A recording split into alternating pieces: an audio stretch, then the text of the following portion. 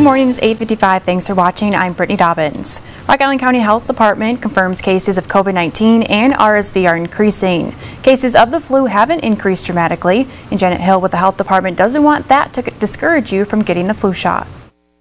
Now we're not seeing any great um, spike in, in flu, but there is still time to get protection against the, the flu virus.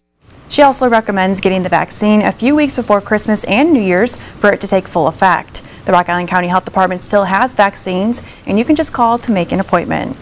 A new program in Illinois aims to help businesses that launched during the pandemic recover some of their losses. Governor J.B. Pritzker and the Illinois Department of Commerce and Economic Opportunity announced $25 million in grants through the Back to Business New Biz program. The state created a network of community navigators to help businesses apply for these grants. Mercado on 5th is a community navigator in here in the Quad Cities. When you apply, if you're eligible and they'll award you, you know, a certain amount of money that will help with the losses um, that, that you had during during that time. So it's uh, it can be up to thirty thousand dollars depending on the situation. Local businesses are encouraged to apply for the grant.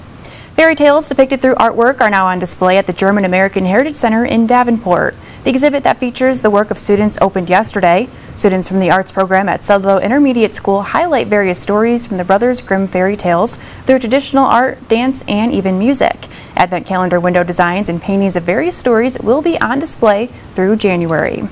And Christmas in LeClaire begins today and runs all weekend long. Events begin at 10 o'clock this morning, and the town's second annual tree lighting follows at 6 o'clock tonight. Tomorrow, events include the Ugly Sweater 5K run. This is video from that event just a couple of years ago. Ugly Christmas sweaters date back to the 1950s when there were jingle bell sweaters, and the tradition grew in the 1980s when some of the sweaters really got outlandish. That's a fun fact for you this morning. And of course, you'll see all of that in LeClaire tomorrow morning.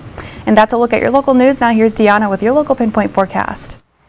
The rain will continue here throughout our morning and well even in the afternoon hours as we are holding on to another chance for a wintry mix. So again for now some rain but later on this afternoon the rain will be transitioning into well, a few flurries as well.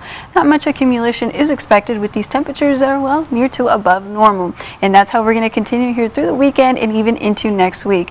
Not much sunshine here in the forecast expect to be mostly cloudy here for most of the weekend. So again if we take a look at the Futurecast computer model again we are going to hold on to that widespread rain here. And as we get into the late afternoon and evening hours that's when we're going to start to see some more of this wintry mix here across the area.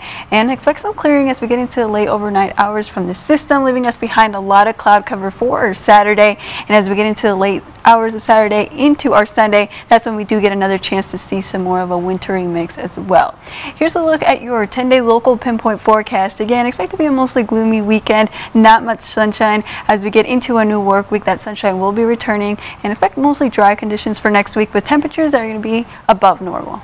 All right, thanks Deanna, and thanks for watching. For news anytime, anywhere, just go to ourquadcities.com. Have a great weekend.